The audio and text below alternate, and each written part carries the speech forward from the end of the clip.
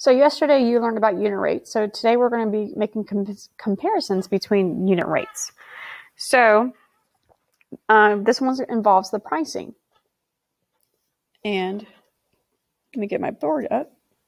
It says the unit rate can help determine the better value of our money. So this would be unit rate. So it says number one, a 12 pack of Orange Crush is priced at $3. A six pack is priced at $1.75. What's the better value? So it means that you can buy for $3, you get 12. Or for $1.75, you get six. So one thing you can do is uh, figure out which one's the better value by figuring out how much one cost. So you're going to you're going to divide both of these. So you're going to divide 12 into three dollars. So when you divide 12 into three dollars, you get 25 cents. So that means one can out of the 12 pack is 25 cents. And so then you're going to do the same thing for the six pack.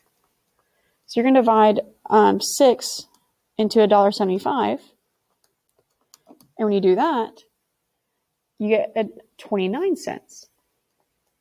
So now this helps you figure out which one's the better buy.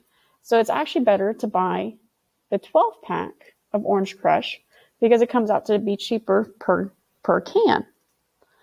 Um, and it's used quite a bit when you're shopping for groceries. So the next one is Folgers Coffee's price at twelve eighty eight for eighty cups of coffee. Okay.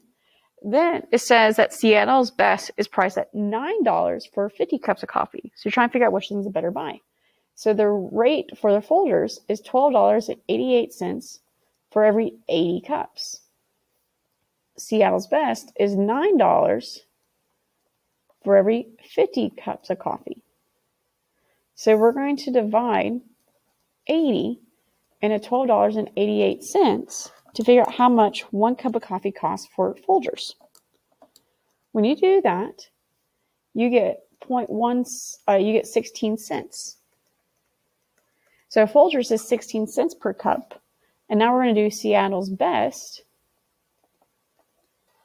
And you're going to divide $9 by 50 cups of coffee comes out to 18 cents.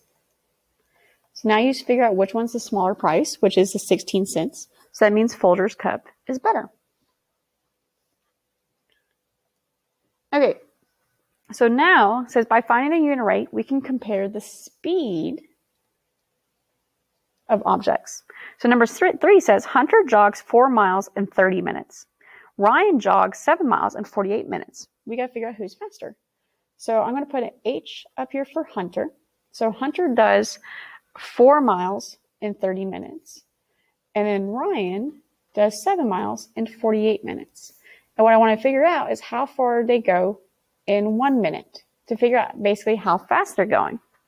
So we're going to divide. So we're going to divide 30 into four. Well, you have to add your decimal and a zero down here. And when you divide that out, you get 13, uh, 0.13. So it'd be 0.13 miles per minute.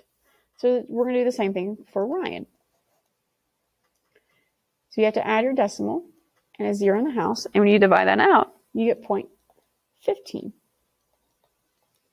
So Hunter goes 0.13 miles per minute and Ryan goes 0.15 miles per minute.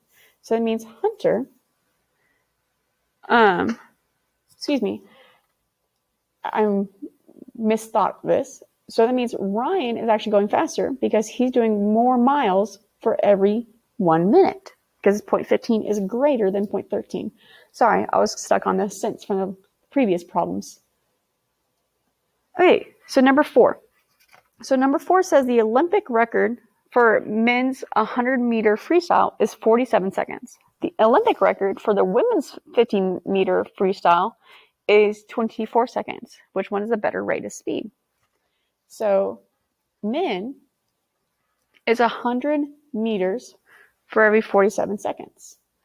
Women is 50 meters for every um, 24 seconds. So what we want to figure out is how far they can go for every um, one second.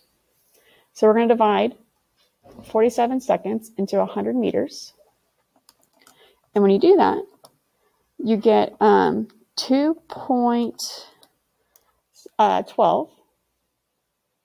we'll just say 2.2 or 2.1. Yeah, since it's uh, this will be 2.1.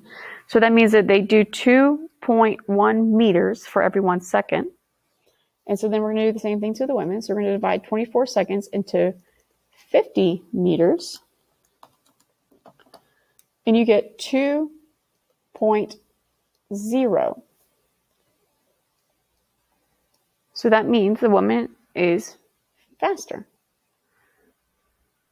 Or excuse me, sorry, I keep thinking um, about the since.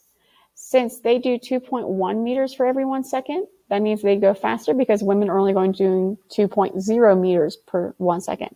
So that means the men are covering a greater length in a fa- um, in the same amount of time.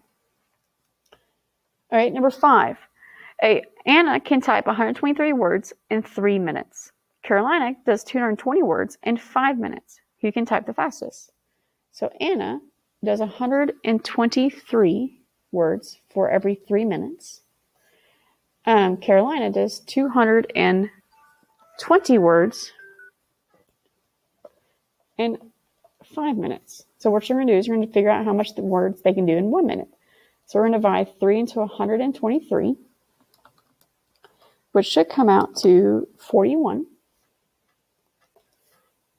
So that means they can do 41 words per one minute. Carolina is going to divide 5 into 220 and it comes out to 44. So Carolina's faster because she can type 44 words for every one minute versus Anna, who does 41 words per minute. Okay.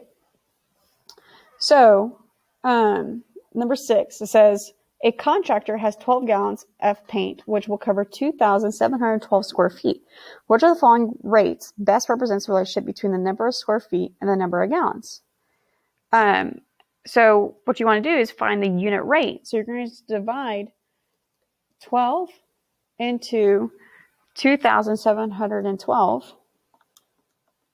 And when you divide that, you get 226. So that means that she can, they can do 226 feet per one gallon of paint. All right, number seven, Northside High School is having a spaghetti dinner fundraiser. In order to advertise, students place flyers in neighborhood doors. Marge hands out 125, 120 flower, flyers in two hours. Jackson hands out 18 flyers in 15 minutes. Which one equation can be used to determine F if the number of flyers Jackson handed out in two hours? Um,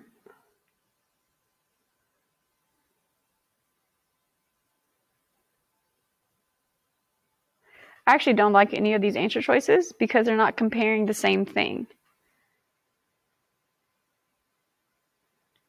So uh, I actually would not use any of these answer choices, basically because Margie is 120 flower, flyers in two hours, and Jackson is 18 flyers in 15 minutes. So since this the time are in two different things. You can't compare them.